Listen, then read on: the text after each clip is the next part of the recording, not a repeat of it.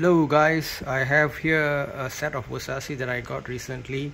It's got uh, 5 mil uh, sized uh, uh, perfumes. So you got Yellow Diamond, Bright Crystal, these are female perfumes.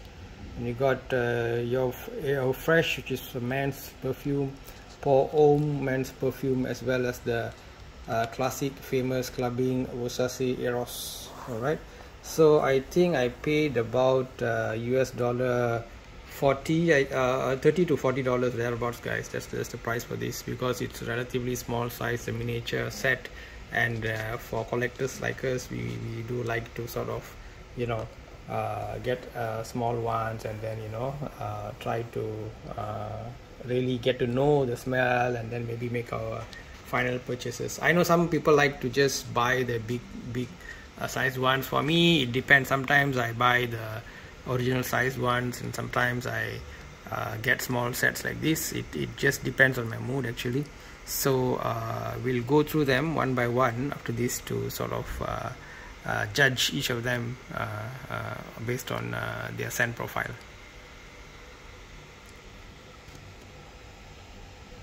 Hi guys, uh, I come to you now with my initial impressions of one of our legends in the male perfume uh, field, uh, Eros by Versace. This was launched in 2012 by the nose of Aurélien Guichard, a, famous perfumer. This perfume is recommended more for colder weathers as some claim that it can become a kind of a stinky, sticky, sweet thingy in the warm environment uh, this uh, in, in, my first impression about this I have to tell you that uh, it's it's not strictly my first impression because numerous times when I when I've gone perfume shopping I have tried to take a, a whiff of this. And I think the problem is that the the opening is, is a bit strong it's a bit uh, metallic in nature and uh, it can put you off so for me when I first when I when I when I tried to smell it and I got the opening and I'm like oh this is this is not really nice especially when I was uh, or uh, when I had already smelled uh, some other cool um, yeah, perfumes like uh, Le Male uh, Le Parfum. Uh, so I, I ended up uh, going for for those uh, other fragrances right? Uh, the other one that I uh, uh, that I bought was Vavatros right? I loved that and then when I when when the salesperson gave me this I'm like mm, that one is better.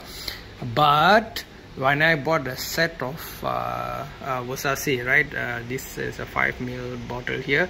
So when I bought the set, I had the opportunity to more leisurely uh, give it more time. So after the opening starts to fade off, then the fun, the real fun begins, right? So now I, I realize, now I can see this is very similar to Le Male um, uh, the, the original uh, Le Male by JPG Jean-Paul Gaultier, uh, a famous uh, clubbing uh, fragrance with lots of uh, vanilla and mint and uh, some pear and so on. So the the this perfume shares the vanilla and mint uh, part with the Le Male alright? So so both of them have a similar vibe but I think ultimately the mix done by Versace is better alright? Uh, so so that's my uh, uh, final judgment here on the matter. Um, uh, but Le Male Le Parfum the black uh, the black uh, bottle with the gold uh, cap uh, that that has sort of uh, stripped everything away again. I feel that's really really good. But again now I have to to balance the books as it were. I would probably have to go and smell Versace um, Eros uh, uh, Eau and see whether they've given a fitting reply to the various reformulations of JPG Le Male. Now to come to the notes, the top notes are mint, green apple and lemon. Uh, I don't know what, what is it, but it, it, it smells quite metallic and strong. I don't know whether the green apple or what it is, but yeah, the opening is a bit difficult. But give it a few seconds, you know, then then you'll start getting getting uh, start enjoying it. So subsequently, we start having the tonka bean, ambroxan, geranium as the mid notes, and then the base is uh, uh Madagascar vanilla. Virginia uh, cedar, uh, Atlas cedar, vetiver, and oak moss. Right, so that's that's how that's how it dries down. So uh, and if you let it linger long and you let your imagination run wild, I can even get something like uh, the Clorox, you know, the the sodium hypochlorite, the, the strong floor cleaner, that kind of smell. Maybe they put some vanilla in there. I don't know. Uh, but this is this is really nice really really pleasant and I can see this working very very well in evening uh, you know some kind of uh, evening uh, dance parties uh, whether whether it's a, modern hip hop techno kind of a thing or even in a classic uh, tuxedo kind of a thing you know it will be a great evening scent you want to wear this in the work in the daytime you better be a bad boy. You better be able to carry it off. You better have the confidence. And if your work is more you know it's not a more um, formal office environment then uh, you can can probably uh, get away with it. But uh, in a tied up uh, not tied up sorry in a suit and tie setup i think it's a bit uh, on the strong side right? But i think i'm, I'm enjoying this perfume a lot. This is my initial impression and maybe I'll get a bigger bottle EDT and then we see whether this can be uh, uh, you know going up the ranks in my in my preference. Um, uh, the the Le Male uh, original I think uh, my, my dad used to use it a lot.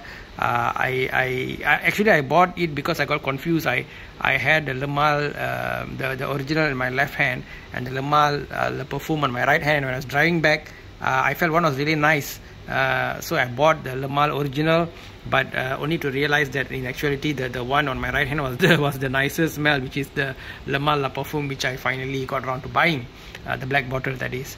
So sorry for talking a lot about uh, Le Male in a, in an initial impression of Versace uh, Eros. So nothing much to say about this because this is very very well known uh, very much loved by all the uh, fragrance reviewers. Um, very uh, potent mixture great for evening and nights out a strong performer uh, compliment getter okay even the bottle is very you know something nice for you to look at when when you when you put it on your dressing room. So all in all it's a winner guys. This one i think i can give it a um, uh, let's see a four out of five.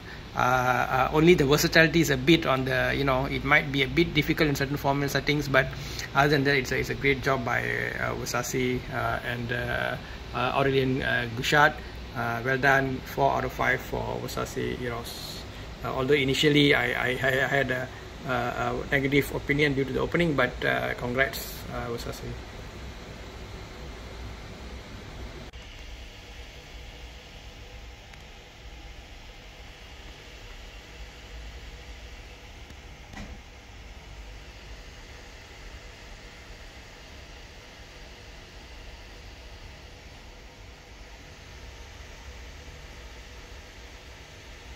Yeah you can see all the various ingredients of each of these perfumes and I'm also testing out my focusing of my lens is uh, how, how fast it can adjust or adapt uh, to the changes